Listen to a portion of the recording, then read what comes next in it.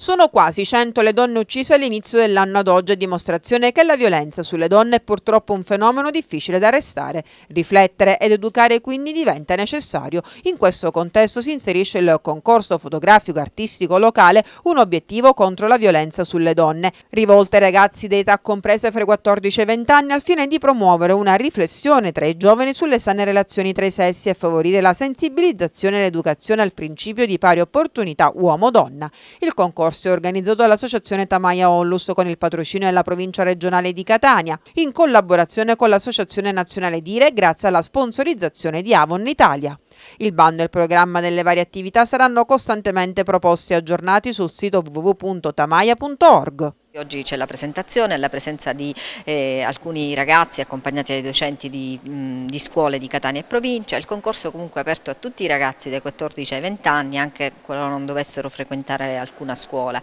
Il bando è scaricabile sul sito www.tamaia.org ed il 30 ci sarà la premiazione. È un concorso fotografico, nel senso che i ragazzi dovranno cogliere eh, tramite delle foto mh, quello che secondo loro è la differenza di genere e soprattutto la violenza dell'uomo nei confronti della della donna perché sappiamo che eh, siamo arrivati quasi a credo 98, 90, non ricordo bene, mi pare 98 eh, donne uccise dall'inizio dell'anno, quindi il fenomeno è assolutamente lungi dal, dal, dal frenarsi o comunque da avere eh, qualche sintomo di rallentamento continua ad essere presente a tutti i livelli, per cui sensibilizzare i ragazzi che saranno il futuro di domani ci sembra la cosa più opportuna e cioè, proprio per questo eh, è stato realizzato un concorso rivolto ai giovani.